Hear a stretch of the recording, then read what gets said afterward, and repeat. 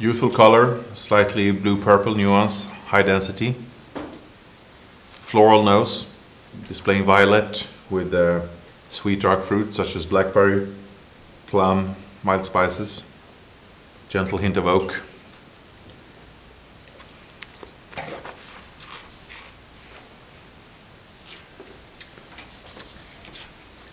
Palate has um, good density of fruit, yet balanced by um, nice acidity and um, quite grainy texture.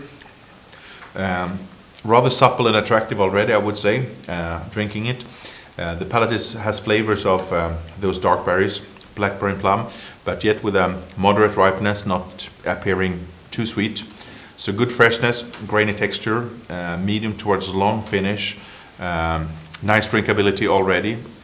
Should probably gain a bit more complexity from further aging, but I think it has um, uh, Uh, it drinks pretty well right now.